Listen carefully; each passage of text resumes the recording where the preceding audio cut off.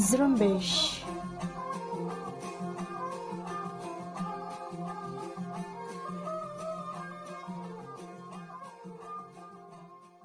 ये रेडियो जुम्बिश उर्दू की आवाज़ है आज 17 सितंबर, जुमरात का दिन और साल 2020 है और आपकी मेज़बान हमीरा बलोच आपकी खिदमत में हाजिर है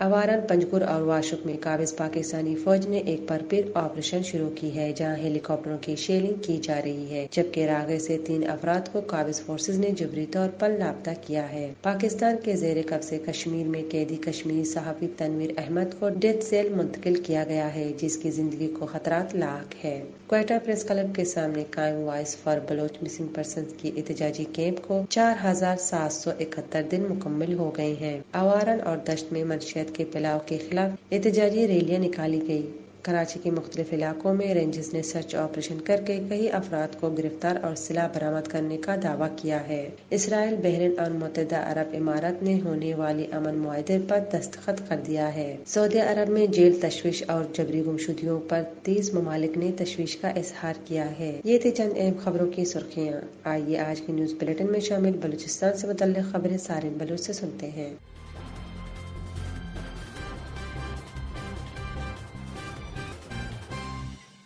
अवरान और पंजगुर के इलाके गिचक में काबिज पाकिस्तानी फौज ने एक बार फिर ऑपरेशन शुरू किया है, जहाँ मुख्तलिफ़ इलाकों की नाकाबंदी करके बरबरीत का सिलसिला जारी है। रेडियो जुम्बिश को मिलने वाली इतलात के मुताबिक गिच के मुख्तलिफ़ इलाकों चिब फेनक कुलांच किली कंडग में बुध को दिन भर पाकिस्तानी गनशिप हेलीकॉप्टरों से शेलिंग की गई और मुख्तलिफ़ बस्तियों को नज़र आतिश करने के साथ जंगलात को भी पाकिस्तानी फौज ने नज़र आतिश किया है। दूसरी तरफ़ अवारांग के इलाकों, मंगुली, वादी, जियारत डन और कंदार के पहाड़ी सिलसिलों में भी पाकिस्तानी जमीनी फौज दाखिल हुई है। मकामी जराये के मुताबिक मजकूरा इलाकों में पाकिस्तानी जमीनी फौज का मार्टर गोलों की फायरिंग का सिलसिला सिलसिला आखिरी इतलात आने तक जारी था।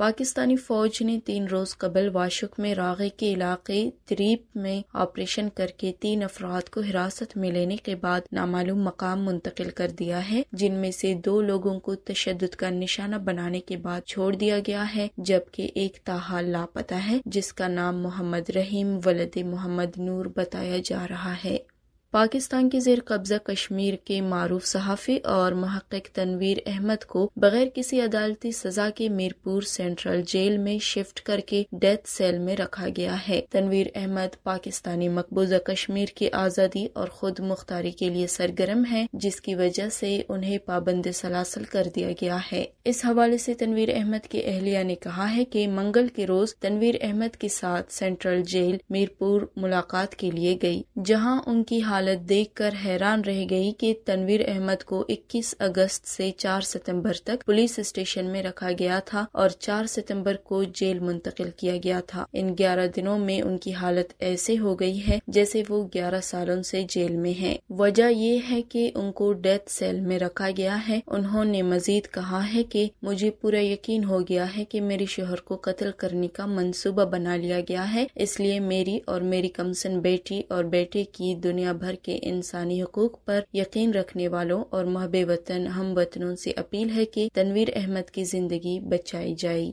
दूसरी तरफ़ बलूच आज़ादी पसंद रहनुमा और बलूचिस्तान लिब्रेशन फ्रंट के सरबरा डॉक्टर अल्लाह नज़र बलोच ने समाजी रबते की वेबसाइट ट्विटर पर अपने एक ताज़ा ट्वीट में कहा है कि अब दो हफ़्ते हुए हैं कि कश्मीरी सहाफ़ी तनवीर अहमद को अपने मादर वतन की आज़ादी के लिए आवाज़ उठाने पर खुफिया सेल में रखा गया है। अगरचे पाकिस्तान इसे आज़ाद कश्मीर कहता है, लेकिन फिर भी वहाँ बुनियादी हकूक और इजहार राय की आज़ादी का कोई बुनियादी हक नहीं है तजारत की गर्ज से अफ़गानिस्तान जाने वाले बलोच ड्राइवरों ने इंकशाफ किया है कि तालिबान और जैश अदल वाले उनकी गाड़ियों को तलाशी के नाम पर घंटों रोक उनमें लदे सामान को उतार देते हैं और भत्ता लेते हैं। इस हवाले से दी बलूचिस्तान पोर्ट ने एक रिपोर्ट शाये की है, जहाँ एक गाड़ी ड्राइवर ने कहा है कि अफगान इलाके में दाखिल होने के बाद हमें तालिबान को एक तरफ़ जहाँ भारी रकम भत्ते की सूरत में देना पड़ता है, वहीं दूसरी जानब गाड़ियों में लदे सामानों को तलाशी के नाम पर उतार दिया जाता है, जिसके सबब कई दफ़ा खुराकी अशिया खराब भी हो जाते हैं। इसी तरह बलूचिस्तान आते हुए भी अफगान तालिबान हमारी गाड़ियों को घंटों रोक देते हैं और जब बलूचिस्तान की हदूद में दाखिल होते हैं तो जैश अदल के एहलकार हमसे भारी रकम भत्ते की सूरत में लेते हैं। तफ्तान के रिहायशी एक ड्राइवर, जो कि गुजशत एक साल से बलूचिस्तान और अफ़गानिस्तान के दरमियान ड्राइवरी करता है, ने दी बलूचिस्तान पोस्ट के नुमाइंदे से बातचीत करते हुए कहा है, अफगान तालिबान के इस इलाके का कमांडर हाजी मुल्ला जरार के गैर मुनासिब रवैये से एक तरफ़ जहाँ आम आवाम तंग आ चुके हैं, वहीं दूसरी जानब खुद हाजी जरार सामान से लदी गाड़ियों को तलाशी के वक्त ये मौकफ इख्तियार करते हैं कि चूँकि हमारे ऊपर पाकिस्तानी खुफिया इदारों का दबाव है, इसलिए हम मजबूरी की हालत में तमाम गाड़ियों की तलाशी ले रहे हैं। मजकूर ड्राइवर ने मजीद कहा है कि बलूचिस्तान हो या अफ़गानिस्तान, जो गाड़ी सामान, जिसमें अक्सर खुराकी अशिया, अद्वियात और गाड़ियों के पुरजात होते हैं, की रसीद और ताजर का नाम पता तक तालिबान और जैश अदल को पेश किया जाता है। लेकिन इसके बावजूद हमारी गाड़ियों से सामान को तलाशी के नाम पर मैदान में उतार दिया जाता है।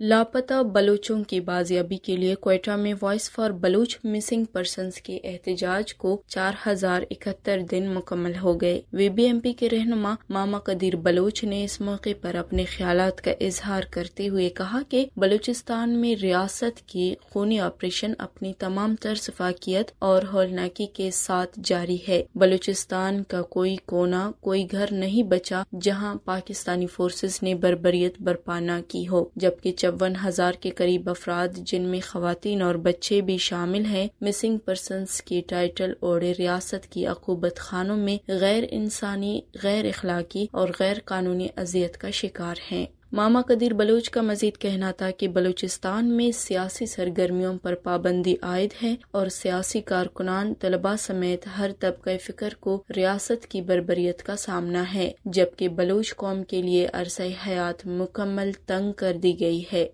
आवारान में एंटी ड्रग एक्शन कमेटी के जेर अहतमाम मनशियात के खिलाफ एक एहतजाजी रैली निकाली गई, जहाँ रैली के शरका ने हाथों में प्ले कार्ड्स और बैनर्स उठा रखे थे, जिन पर मनशियात के खिलाफ नारे दर्ज थे। रैली आवारान प्रेस क्लब से शुरू होकर डीसी कम्प्लेक्स से वापस होकर यूबीएल बैंक के सामने तकरीब की शक्ल इख्तियार कर गई। इस मौके पर मुकर्रीन ने शरका से खिताब करते हुए मंशियात के खिलाफ अपने ख्याल का इजहार किया और कहा, हमें मंशियात से पाक माशरा चाहिए। जब तक हमारे माशरे में मंशियात के खिलाफ एक्शन नहीं लिया जाता, हम इसी तरह डटे रहेंगे और मजीद रैलियाँ निकाली जाएँगी। दूसरी तरफ़ केच के इलाके दश्त में दश्त सिविल सोसाइटी की जानब से मंशियात की रोकथाम और ड्रग सेंटर बनाने के लिए अजलास का इनका किया गया और मंशियात की रोकथाम के हवाले से शरका से राय लेकर लाया अमल तय की गई, जिसके बाद एक मरकजी कमेटी तश्कील दी गई, जो इंसदाद मंशियात कमेटी दश्त के नाम से अपनी जिम्मेदारियाँ निभाकर मंशियात से पाक दश्त के लिए अपनी कोशिशें तेज करेगी और बहाली सेंटर की जल्द क्याम के लिए इलाकाई कमेटियों की मदद में अपना किरदार अदा करेगी। करेगी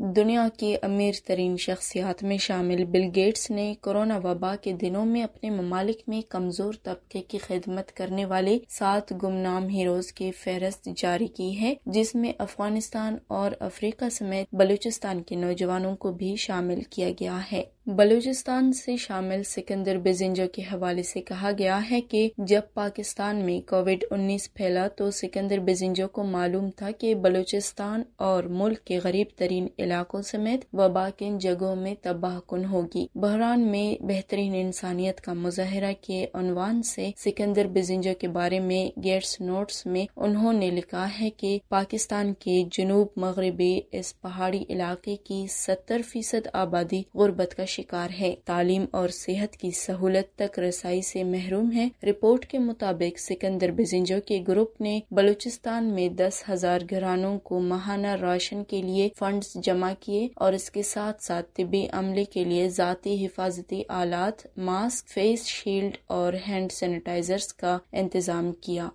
बलूचिस्तान में कोरोना वायरस के बाद कॉलेजेस खुलने के साथ ही बलूचिस्तान रेजिडेंशियल कॉलेज लोरालाई के एक प्रोफेसर समेत छह अफराद के कोरोना के टेस्ट मस्बत आए हैं, जिनको अपने घरों में आइसोलेट कर दिया गया है। दूसरी तरफ़ तलबा के वालदे ने कहा है कि बच्चों के तालीम का सिलसिला जारी रहना चाहिए और एस ओ पीज पर सख्ती से अमल दरामद कराया जाए। किले अब्दुल्ला में कोयटा चमन शाहरा पर खाना बदोशों के दरमियान तनाज़े पर फायरिंग के नतीजे में दो अफराद हलाक हुए हैं। हब शहर में डकैती के वारदात के दौरान मजामत पर मुसल्ह रहाजनों की फायरिंग से दो अफराद जख्मी हो गए हैं। कोयटा में सिबी रोड पर गाड़ी की टक्कर से एक नौजवान जख्मी हुआ है। कोयटा ही में चमन हाउसिंग स्कीम के करीब फायरिंग करके एक शख्स को जख्मी किया गया है। अब इलाके और आलमी खबरें खलील वाडिल्ला पेश करेंगे।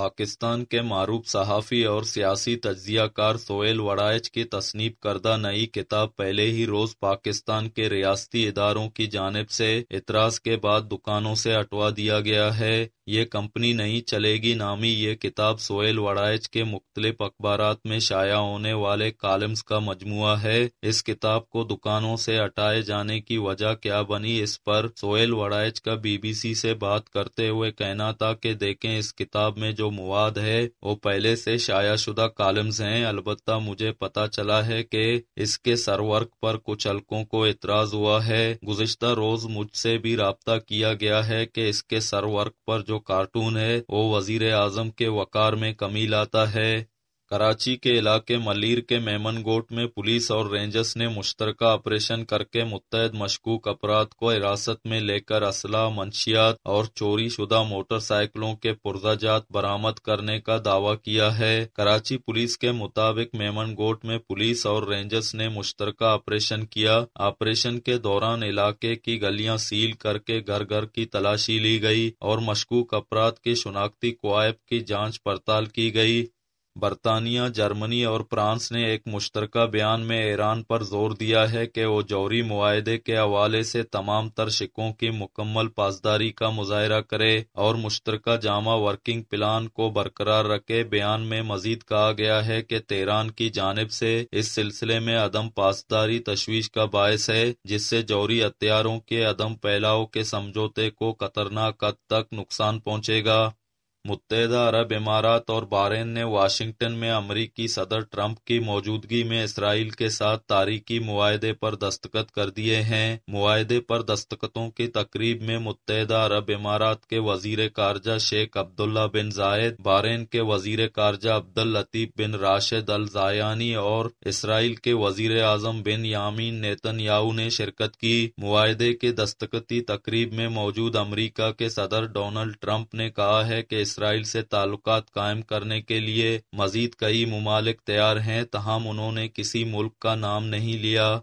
अकवा मुतहदा में इंसानी हकूक़ के इदारे ह्यूमन राइट्स काउंसिल में दुनिया के तकरीबन तीस मुल्कों ने इंसानी हकूक़ की पामालियों के लिए सऊदी अरब पर सख्त तनकीद करके उस पर इंसानी हकूक़ की अलम्बरदार खुवान कारकुनों को जेल में रखने का इल्ज़ाम आयद किया है। इन ममालिक ने सहाफ़ी जमाल काशक जी के कत्ल के कसूरवारों को इंसाफ के कटेरे तक लाने में नाकामी पर भी सऊदी अरब को तनकीद का निशाना बनाया है। इसके साथ साथ तशद हिरासत में अजियतें देने, मनमानी नजरबंदियों, जबरी गुमशुदगियों और जेल में कैद अपराध को ज़रूरी तिब्बी इलाज तक रसाई से इनकार और इनके एहलकाना से रबता न करने देने जैसी इतलात पर शदीद तशवीश का इजहार किया गया है। बरतानिया में लंदन के डायरेक्टर पब्लिक हेल्थ प्रोफेसर ने खबरदार किया है कि आइंदा आने वाले चंद हफ्तों में कोरोना वबा दोबारा ज़्यादा ताकत से हमलावर हो सकती है, जिस पर काबू पाने के लिए शहर में कर्फ्यू लगाया जा सकता है। उनका मजीद कहना था कि तमाम शहरी पहले की तरह अब भी मुतहद होकर एहतियाती तदाबीर पर अमल करके वबा को नाकाम बनाएँ।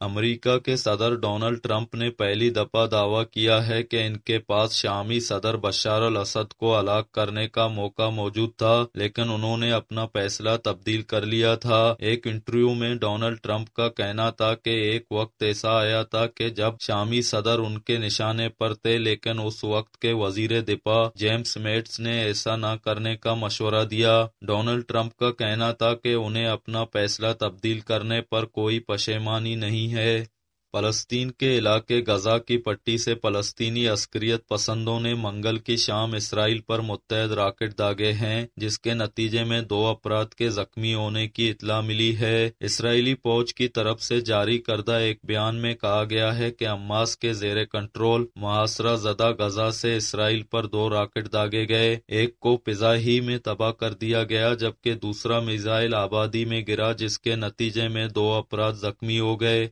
अमरीका ने वीगोर मुसलमानों के साथ मुबैना गैर इंसानी सलूक के खिलाफ अपने ताज़ा तरीन इकदाम के तहत सिंकियांग में वाक़ चार कंपनियों के ज़रिए तैयार किए जाने वाले अशिया को मुल्क में दाखिल होने से रोक दिया है। इस हवाले से अमरीका ने इल्ज़ाम आयद किया है कि सिंकियांग में वाक़ ये कंपनियाँ अकलियती वीगोर मुसलमानों को जबरी मजदूरी के लिए मजबूर करके उनसे अपना सामान तैयार करवाती हैं, इसलिए इन लोगों के साथ गैर इंसानी सलूक की वजह से वहाँ तैयार होने वाली अशिया, मसलन, कपड़ों, कंप्यूटर के पुर्जों और दीगर सामान पर पाबंदी लगाई गई है।